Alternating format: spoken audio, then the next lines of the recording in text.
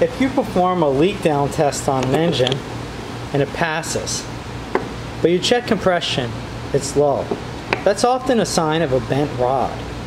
Now, how does the rod get bent? Well, when fluid gets inside the cylinder, fluid does not compress. So something bad has to happen. If you're lucky, it'll just bend the rod a little bit. Now, obviously, you're going to have to take the engine apart and replace the rod to fix it, but at least it hasn't destroyed the entire engine. Now, the piston, when it goes up, it will stop before it gets to the top of the cylinder. So if you see a little gap between where the piston should be and where the piston actually is, that's a very good sign that you might have a bent rod.